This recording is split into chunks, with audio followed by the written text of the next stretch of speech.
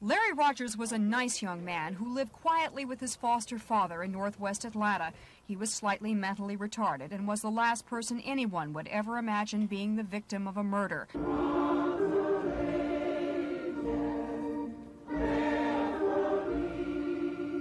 But today, friends and relatives gathered at his family's church on Ashby Street to pay their final respects.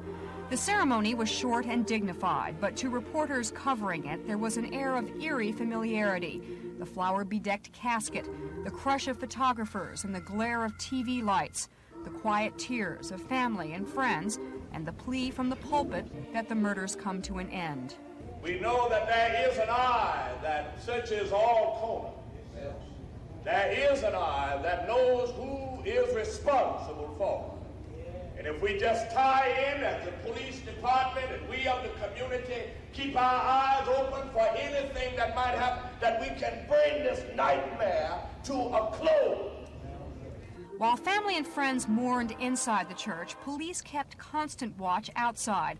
They took pictures of anyone coming or going and checked the license plates of cars parked on the street. To most of Atlanta, Larry Rogers was just number 23 in a long string of tragedies, but for his foster family, there is now a gap in their lives that will never be filled. A gap made by a faceless killer who is still free. Surely goodness and mercy shall follow me all the days of my life.